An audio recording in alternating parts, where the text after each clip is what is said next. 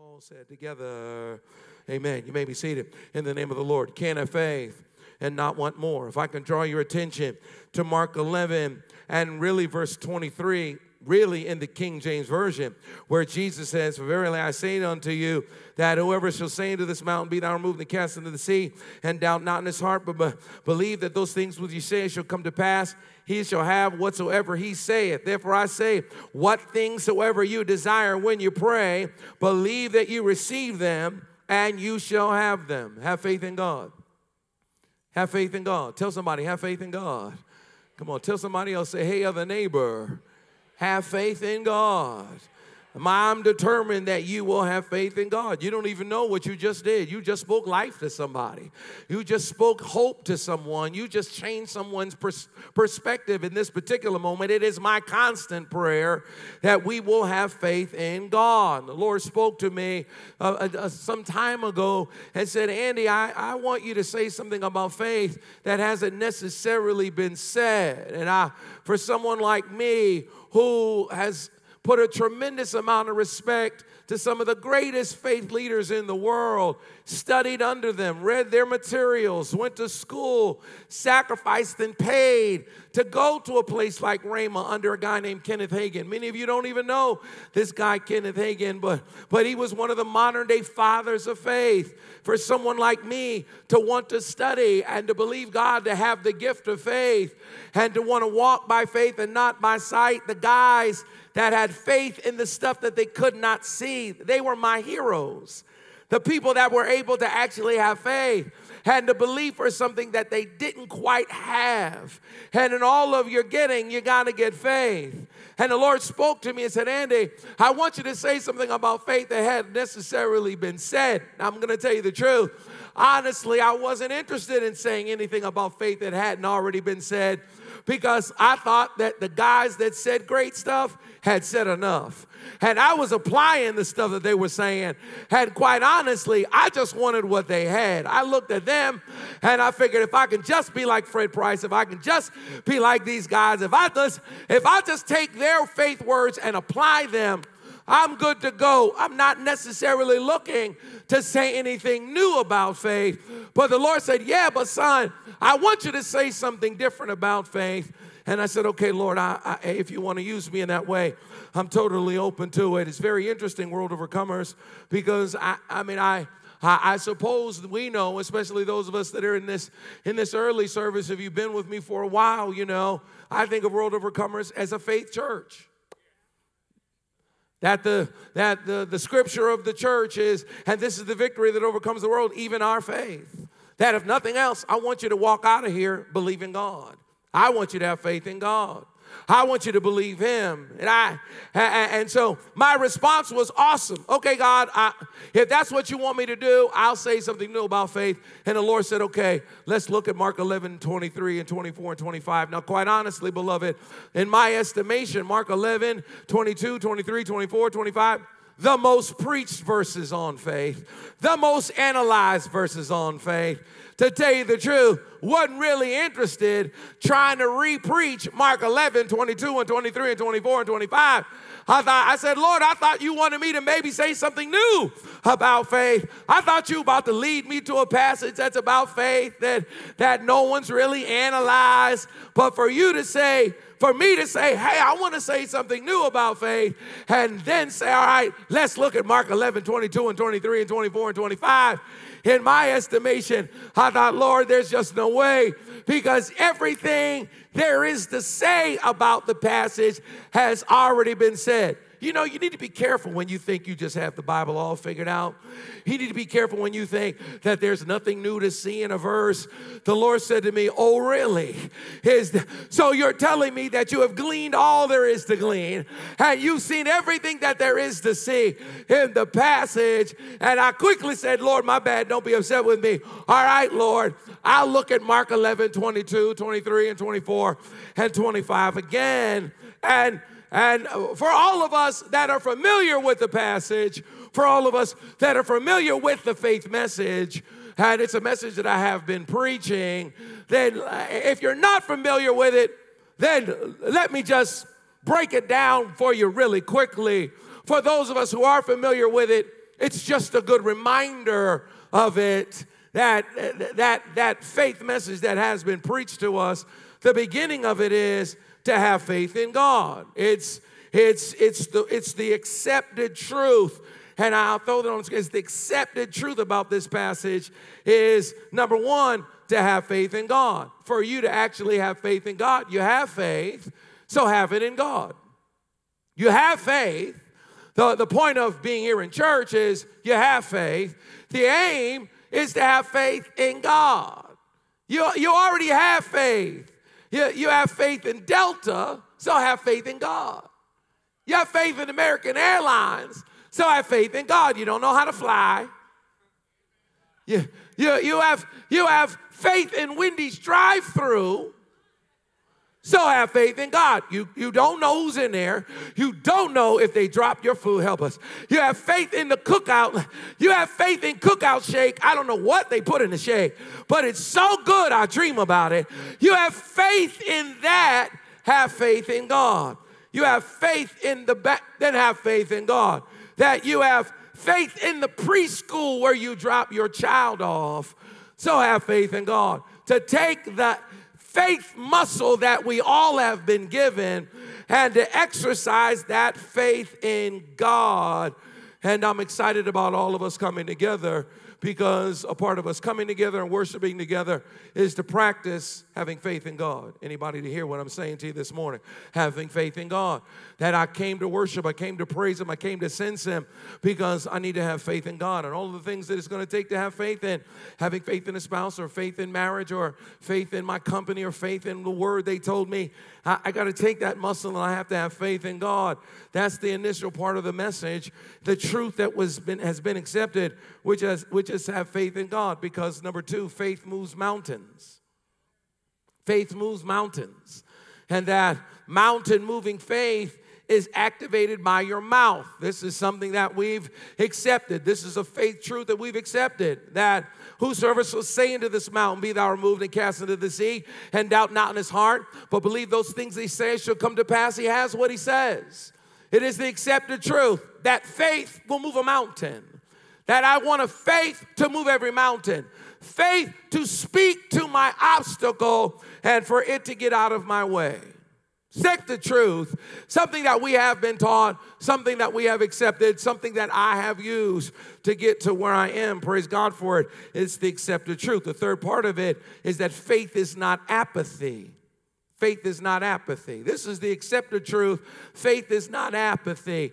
That, that's why I read it on the King James Version because King James Version says, What so what things soever you desire when you pray, believe that you receive them and you shall have them. You gotta want it to have faith for it. You have to figure out what it is that you desire. Last Sunday we asked the question, What do you expect?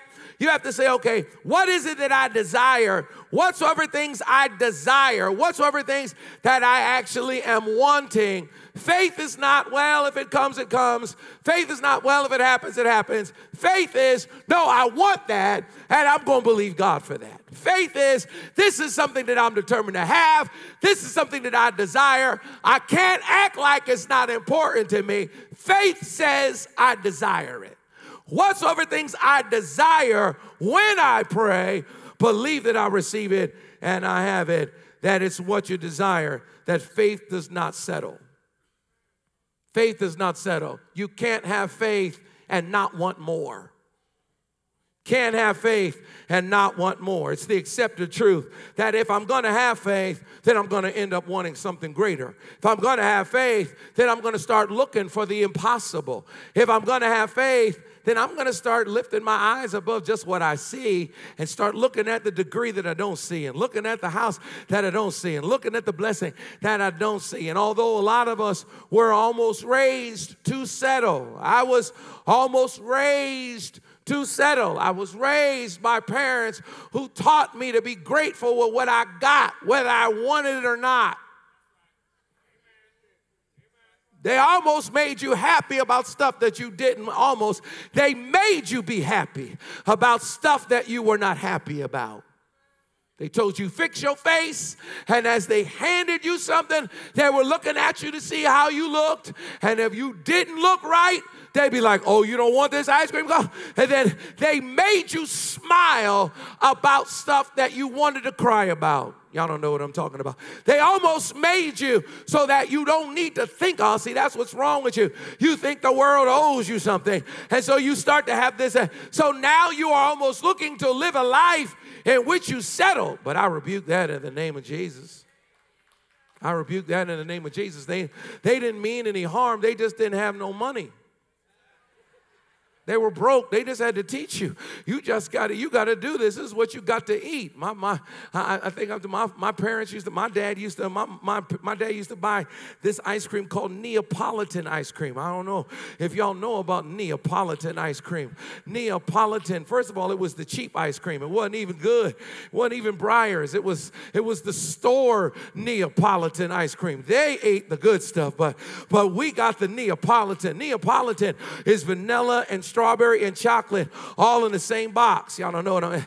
Eh, because they because they got to find a way to get a half gallon with three flavors in it, and and, and they're the three most basic flavors. And and now my mom, thankfully, my mother would scoop just vanilla and give you just vanilla, or just chocolate and give you just chocolate. But if you said, "Can I have Rocky Road?" they would look at you like you better shut your mouth on that Rocky Road. You better eat this vanilla and be glad you get some vanilla See, that's what's wrong with you. You think the world owes you cookies and cream, but you better eat this Neapolitan ice cream. And so it was almost this no, be glad you got what my dad would do is my dad would roll all three flavors together and put it on a cone for you. And now you're trying to eat the ice cream you like around the ice cream that you don't like. And you bet not throw that ice cream away. My point is, is that we were almost raised to not want what we want, to not desire anything, where the word says, whatsoever thing you desire when you pray, because faith is not apathy, faith does not settle. And then the final part of the truth, which is a truth that we have accepted about this passage, is that I have to believe it before you see it. You believe it before you see it. You believe it before you see it. Whatsoever things you desire, when you pray, believe that you receive it and you shall have it. You don't have to believe it if you already have it. You believe it before you have it. You ask God to heal you and you believe you are healed before the healing manifests in your body.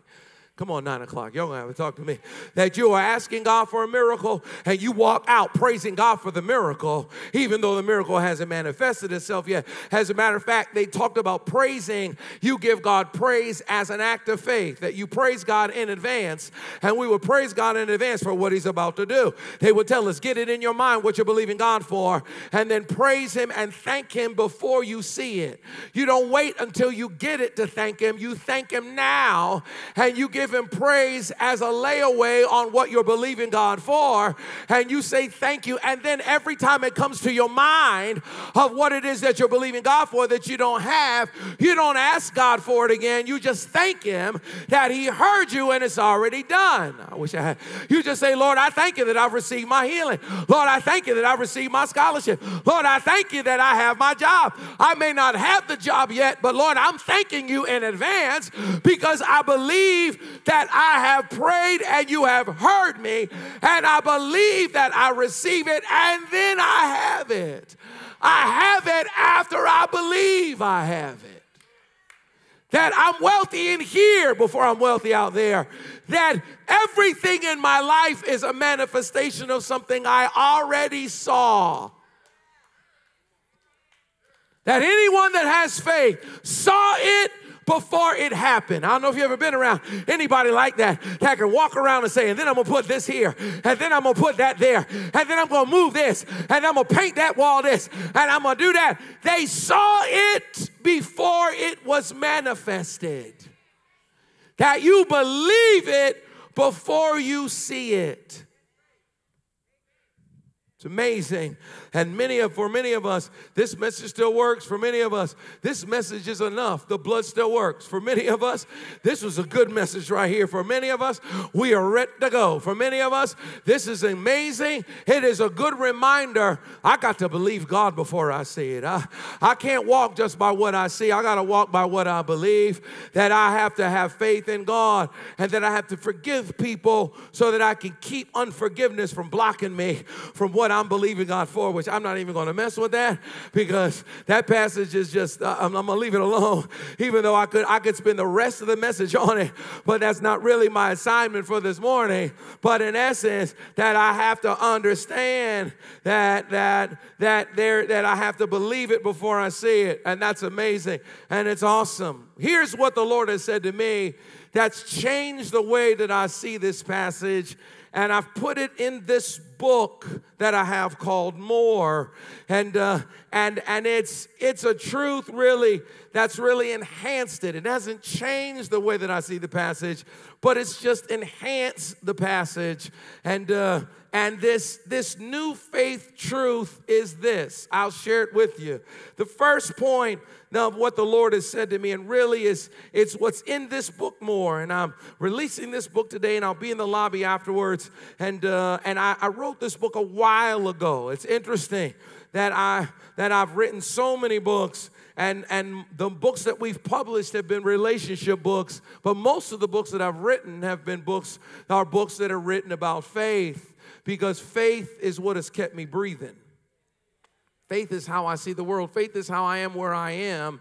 And uh, I just haven't necessarily been released really to release them, but I'm, I'm releasing this book today, this and it's new faith truth, and it enhances it. Here's the first thing, and that is that mountain moving power is for people on a journey. First thing, when I, whenever I thought of whosoever say this mountain be thou removed, cast in the sea, doubt not his heart, believe those things says come to pass, have whatever he says. I always thought of that as just obstacles and, and rebuking mountains. I thought of that mostly as sicknesses and diseases and attacks of the enemy. That's the main way that I saw it. But the Lord said to me, actually, well, this passage is, is actually for people that are trying to get from here to there because you can be obedient and still be blocked. It's absolutely possible for the Lord to say, Go there, and for you to say, All right, and on your way there, there are obstacles in your way that you are going to have to deal with. This passage is for movers, this power is for movers. You don't get this power just to sit and say you have it. You get this power because you see where you are and you realize that there's a place that you're going that we realize that the first journey of Abraham, his first faith move, was a move move. So that I actually understand that mountain moving power is for people on a journey. And so I have to first figure out where I'm going before I even begin to speak to mountains. Before I even have an expectation to have faith, I have to first ask myself, where am I? And I have to ask myself, where am I going? Because mountains are a part of a journey on my way somewhere. The second thing that the Lord said to me that really blew my mind, and I and I and, it's, and I'm, I shared in this book, and I'm I, I'm gonna just attempt this morning just to give you a little bit of a hint of just what's in the book. I can't preach all of it to you, obviously, but and I, I don't want to anyway. But but but the second thing is that mountains are moved in more than one way. Mountains are moved in more than one way.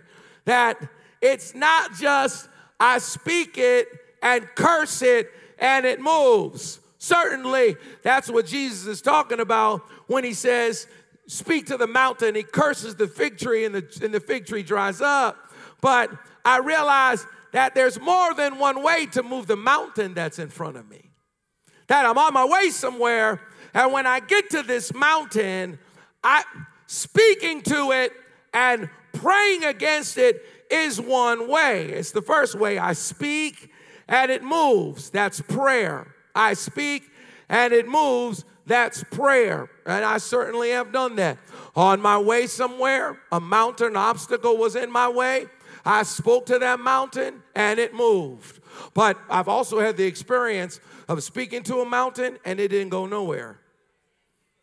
I know I'm not the only one. I have the experience of praying against that mountain, and that mountain didn't move an inch. Matter of fact, I went to the mountain moving conference and gave my mountain moving offering, and that mountain stayed right there. And I began to realize that there's more than one way to move that mountain.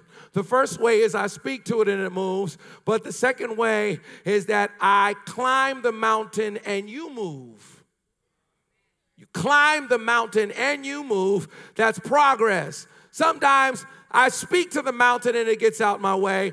Other times I climb the mountain because there's a perception and a perspective I gain at the top of that mountain that I won't gain if I don't ascend it.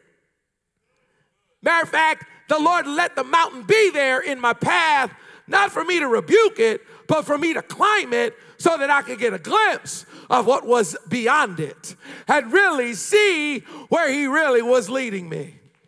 And I got really excited when I got to the top of the mountain. The challenge of getting to the top of the mountain is once you get to the top of them, it takes work to get to that top of that mountain.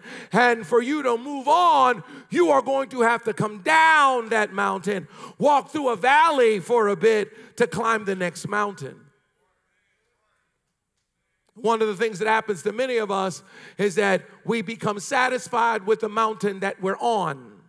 And we see other mountains beyond it, but because of the work that it took to get to the top of this mountain, we ain't thinking about going down this other. It took a lot for me to get in this company. It took a lot for me to get the position I have. It took a lot for me to be supervisor. Are you trying to? But when I get there, I see all the deals that are happening. I realize where the money really goes, and I have to ask myself, do I want to come down this mountain, walk through a valley of starting my own thing to try to ascend a higher mountain?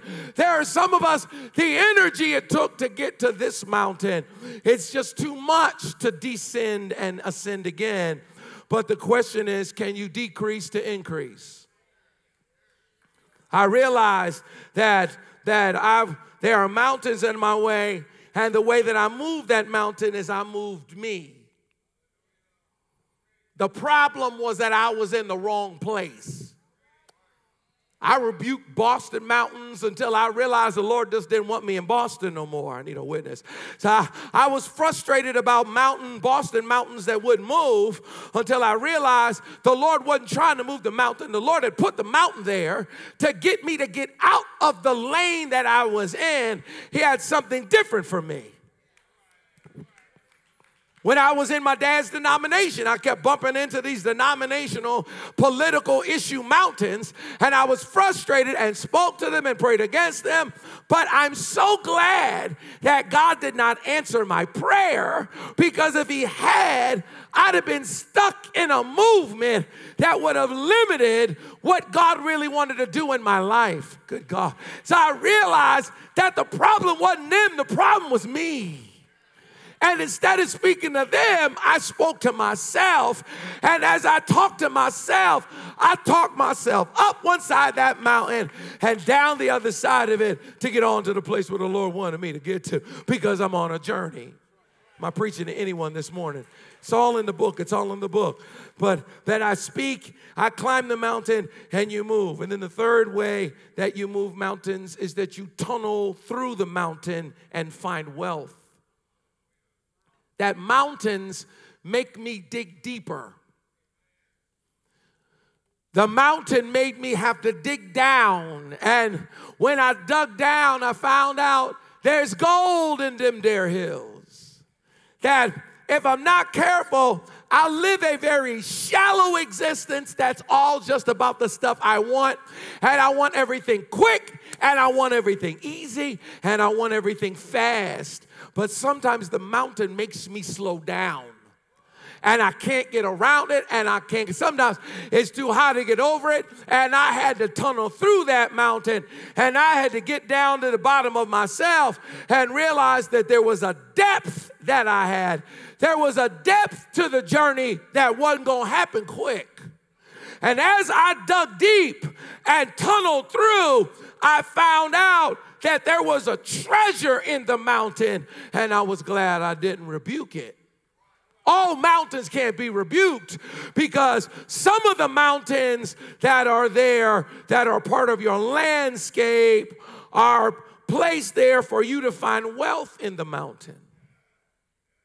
Then the third thing that the Lord said to me about mountains, and maybe this isn't new to you, but it was new to me, and that is that not all mountains are from the enemy.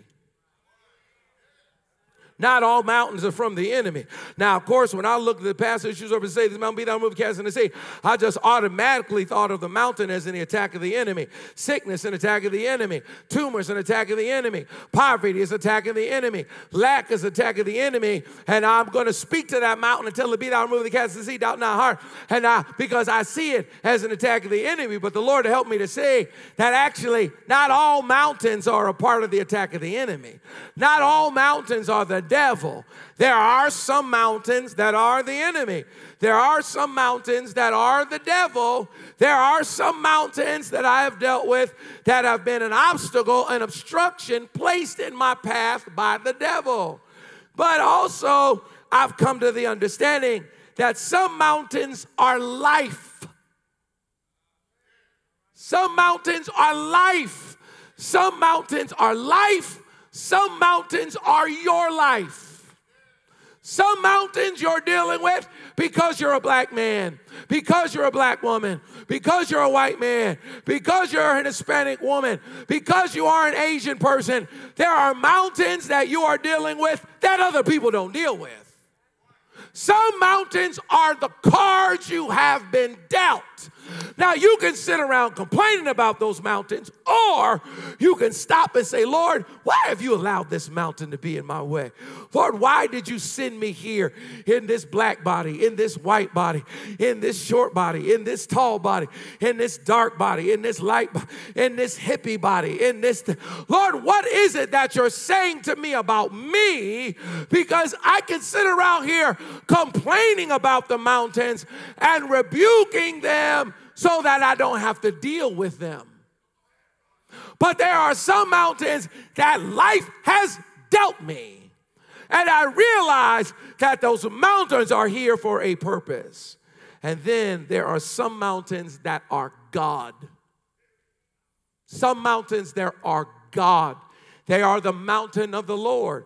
Who shall ascend the hill of the Lord? Who shall stand in his holy place? He that has clean hands and a pure heart. That actually, there are some mountains that God has placed that mountain there. God has allowed that mountain to take place. The Lord has actually, sure, there are some that are attacking the enemy, but some of them are just the way life is, and then some of them this is the Lord that has allowed this. God has done this. Some of these mountains are just God. And it led me to the final truth that I want to share with you, and that is mountains are inevitable. Mountains are inevitable. I stopped seeing this passage as a passage of, oh, just in case you ever see a mountain, whosoever is saying to this mountain, be thou moved the cast into the sea, and doubt not in his heart. I always saw it as a passage that applied to the surprise of a mountain, in which the Lord said to me, actually, if you are going to do anything, you're going to deal with mountains you might as well get yourself ready because mountains is going to be the journey. Anybody learned that yet in the nine o'clock? That uh, would to God that every path to, to great was just a smooth path. That the path to more was just a smooth path. The fact of the matter is, anybody that's on their way to more, anybody that's on their way to greater, is going to deal with mountains. If you have a conversation with anyone that has done anything great, Bill Gates, Bill Gates, Oprah, it doesn't matter who they are, if you sit down and have a conversation with them, they're not going to tell you about a journey that was low and quick and fast and smooth and easy. They're going to tell you they had to encourage themselves. They're going to tell you sometimes they were up, sometimes they got low. Sometimes it didn't look good. They had to press through a valley to, uh, to reach another mountaintop. I began to realize that it doesn't even make any sense to think about this passage unless I understand it from the perspective that I'm going to deal with mountains that mountains are inevitable. I know we want to rebuke them right away, but no path to more is a flat path. No path to greater is a flat path. Nobody gets there on a flat way. Anybody that's done anything great has done it with some opposition. Anybody that's experienced anything, anyone we admire, anyone that we look at, any one of us in here that want to go to the next level, the next level is a new mountain. The next level is new challenges. The next level is new devil. The next level is new pain. And I can't ask for more and greater and not be prepared to be a little scared. And if I don't want to have nothing to do with mountains, then I don't want to have nothing to do with greater. I need a witness. If I don't want to have nothing to do with mountains, then I don't want to have, then I'm not going to have anything to do with more. I can't have faith and not want more, and I can't get to more without dealing with mountains. When I realized that, I, when I when I saw that, the Lord said to me, "Yeah." And so understand that since mountains are about a journey, and really the journey is about greater, and the journey is about more, and the journey is about higher, the truth is that you are going to deal with mountains and that there are five mountains that you are going to deal with on your way to more. That's what I talk about in the book. The book really talks about these five mountains on your way to great, on your way to greater, as a matter of fact, the fifth mountain that I talk about in the book is the mountain of more itself, the mountain of greater itself.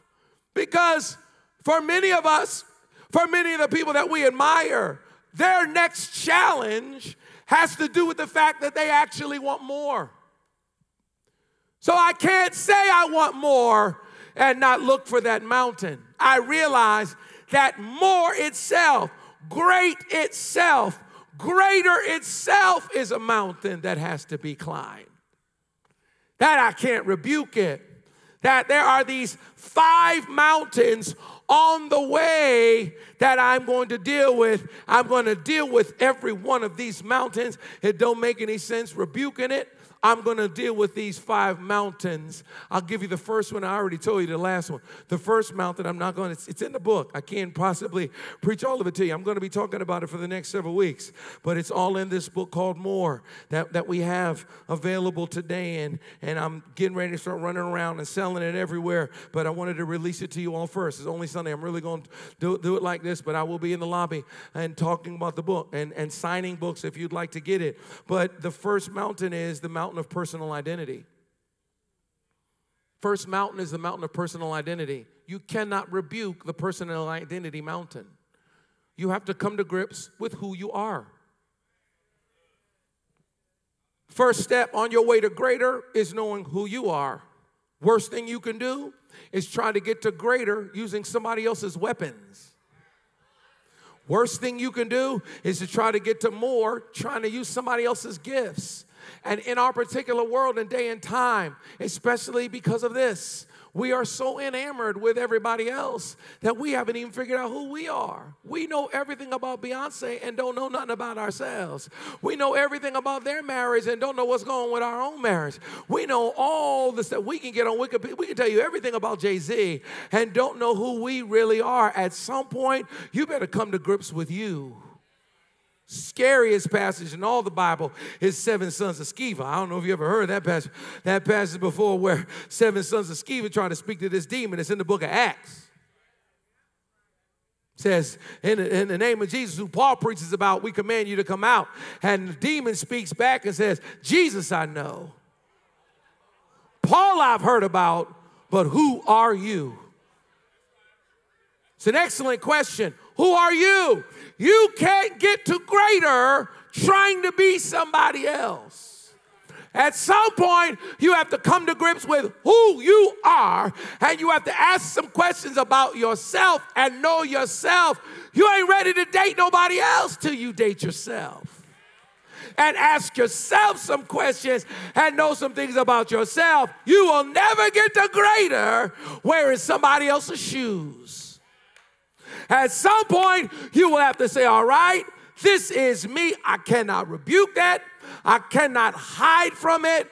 I can't be so hidden in the identity of Christ that I never ask who I am.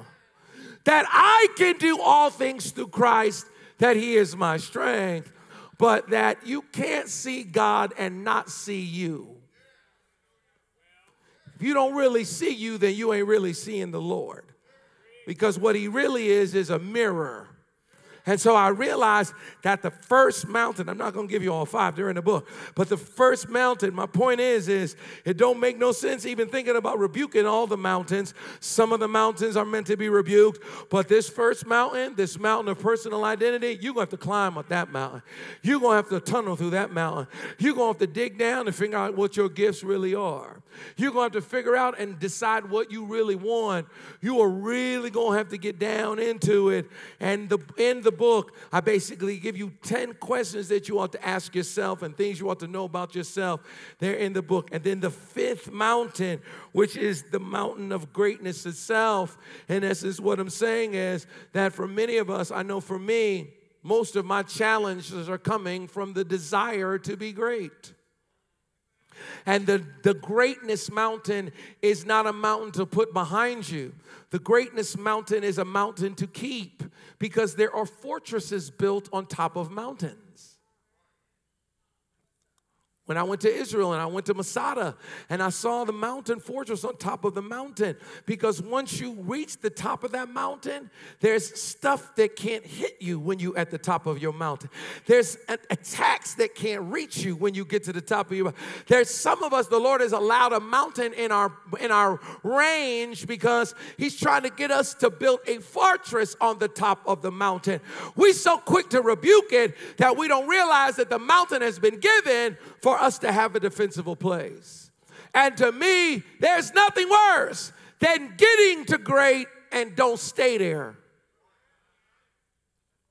And so I talk about in the book what are the walls that need to be built as a part of the, the fortress that's on the top of this mountain because I don't want to get it and lose it.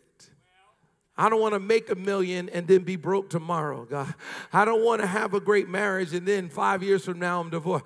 I don't want to own a house only to lose it. Once I get to this place of great, I want to know what do I need to do to stay there. And there's nothing worse than somebody having the gifting to get to great and not having the discipline to stay there and then something in their flesh or something in their world or something in their life or something in their past drags them down. Good God, I don't want to end my life in infamy. I want to end my life in, I don't want to reach this high place. And we live in a world where people are built up and torn down.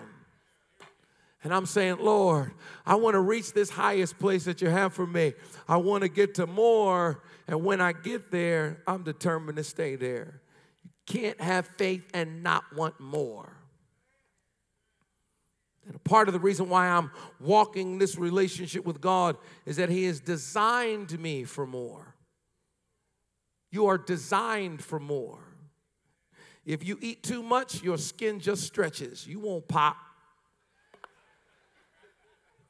Because you are designed for more. You have an appetite that resets every day. Some of us got stretch marks. I'm looking for spiritual stretch marks. I, I want to be like, yeah, this is my spiritual, this is what I was, but the Lord has expanded me and the Lord has stretched me and the Lord has made me, like, because He actually designed me to be able to expand for greater. To actually believe God that His plan for me is more than what I see now. It's why we're here to walk by faith and not by sight. Put your hands together if you heard a word from the Lord this morning. Jump on your feet. Reach out, grab your neighbor's hand, let's pray. Lord, we just want to thank you for what you said to us today. Thank you for living so big in us. Thank you for speaking to us and through us. Thank you for your word that truly is a lamp unto our feet and a light unto our pathway. Thank you, Lord God, for the accepted truth, what we've always known about faith, what we've always been taught about faith. Thank you, Lord God, that that faith lesson is meat on our spiritual bones and has brought us to this place. Thank you that we are standing in faith, believing for something greater.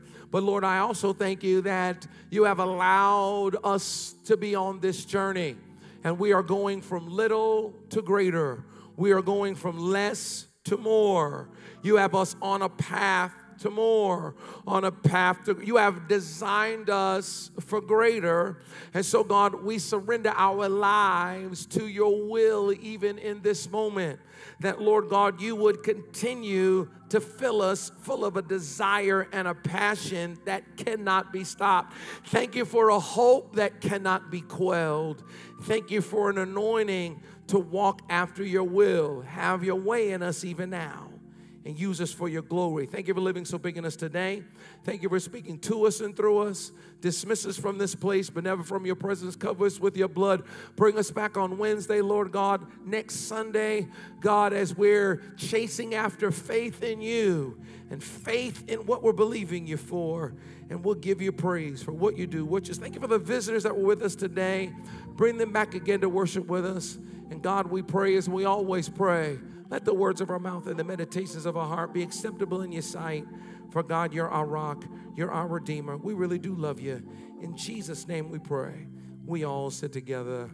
Amen. God bless you. Greet somebody in the name of the Lord. Give somebody a holy hug. You are dismissed. The books are available in the lobby. I am going to be there and I will be signing books. If you'd like for me to sign your book, and uh, I'm on my way there now.